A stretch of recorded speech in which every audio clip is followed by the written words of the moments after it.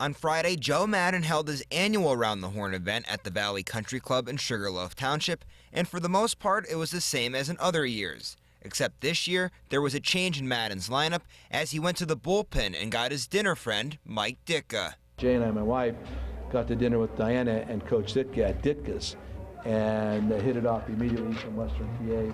He's Ukrainian uh, background, Polish for me. There's a lot of commonality right there. So um, we started talking. We started having dinner maybe two or three times a season. And so when this event came up, I asked him if he'd be willing to come on and be part of this because I knew the reaction would be great for the, for the people in the area. So uh, that's that's what it's about. We're kind of uh, dinner mates right now, dining mates. Ditka is familiar with the Keystone State.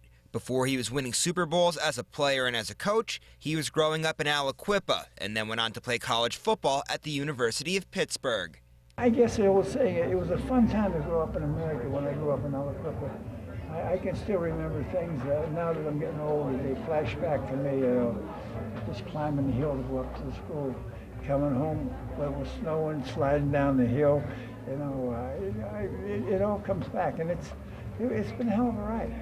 This may have been Ditka's first trip to the Hazleton area, but don't worry, he knew of Hazleton for quite some time. John Usino played at Hazleton High School. He played for the Pitt Panthers. Yeah. Put that on the air. John, I don't know. But, uh, but we had a couple guys at Pitt from uh, this area. And um, I always remember Hazleton, and the name stuck with me. Ed Ferdinand and John Usino, those two guys. I remember that. Another Pennsylvania memory that Mike Ditka has actually came on a basketball court when he was in high school playing basketball for Press Maravich. Press was fantastic. I mean, just a great guy. And then we, they had this little kid. He was about seven, eight years old, running around the basketball court, and he was making basket. He could shoot the ball better than anybody on the basketball. I swear to God. It was Pete Maravich, and he was about seven years old. I mean, it was unbelievable. I mean, he was just fantastic. Ditka had a lot to say about life and he did touch a little bit on football, but it seemed like he would always come back to his Aliquippa roots.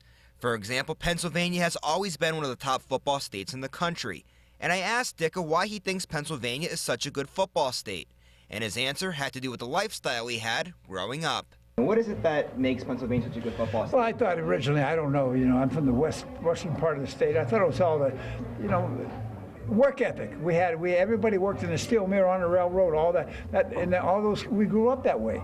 I mean, my time was a if you call blue collar, it was, it was probably a brown collar because of the you know the soot and the dust and the dirt from the steel mill. But you know that was that was the life we had. You know, my dad uh, we didn't have anything, but we didn't need anything. My dad got up every morning and he went to work. My mother stayed home. She raised the kids. We went to school. It, it was a it was a part of America that we've lost and uh, we ought to get it back. Now, here's the part where I usually sign off and end the story, but rather than doing that, I'm going to end by leaving you with the most important question that was asked during Ditka's media session. It was the last question that was asked, and it was asked by yours truly. And then, Mike, I just have one last thing for you. There's a famous Saturday Night Live skit out there, and there is never really an answer to the final question there. Who wins in a fight between you and a hurricane, but the hurricane's name is Hurricane Ditka? Well, the hurricane ran out of gas, so I whooped his ass.